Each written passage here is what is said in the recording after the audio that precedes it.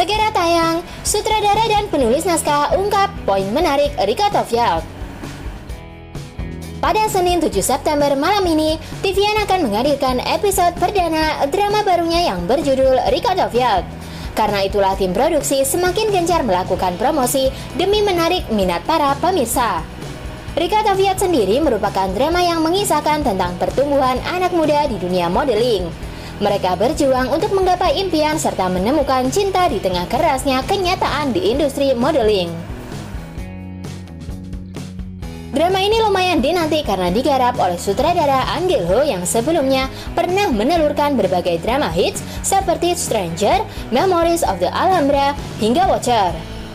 Tak hanya itu, penulis naskahnya pun tak bisa dipandang sebelah mata. Sebab drama ini akan digarap oleh Ham Young Hee yang dikenal sebagai penulis Doctors dan Temperature of Love. Berkaitan dengan penayangan episode perdana Record of Yacht, sutradara dan penulis mengungkapkan berbagai poin menarik drama ini. Menurut mereka, Record of Yacht akan menghadirkan berbagai kisah tentang pemuda yang dapat menginspirasi orang lain. Ini adalah kisah tentang pemuda berusia 20 tahunan yang serius merenungkan impian mereka. Selain perspektif mereka tentang mimpi dan cinta serta keluarga yang mendukung mereka, drama ini akan menangani berbagai topik yang melingkupi berbagai generasi. Ungkap sutradara An Gil-ho. Di sisi lain, penulis Aham Yung Hee berkata, Daripada cerita tentang kesulitan realitas yang dihadapi oleh pemuda, ini adalah kisah tentang mereka yang mampu mengatasi dan mengalami kemenangan.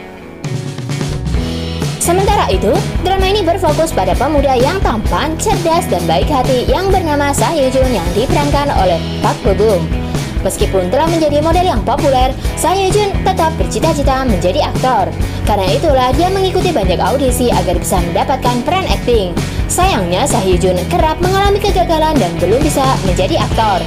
Di sisi lain, ada gadis pekerja keras dengan mimpi tinggi yang bernama An Jung Ha yang diperankan oleh Park Seo dia rela melepaskan pekerjaannya di sebuah perusahaan besar untuk mengejar mimpinya menjadi penata rias dan meluncurkan mereknya sendiri. Selain itu, dia juga digambarkan sebagai penggemar berat Sah Ye Jun dan menjadikannya sebagai energi agar tetap bersemangat saat keadaan terasa sulit.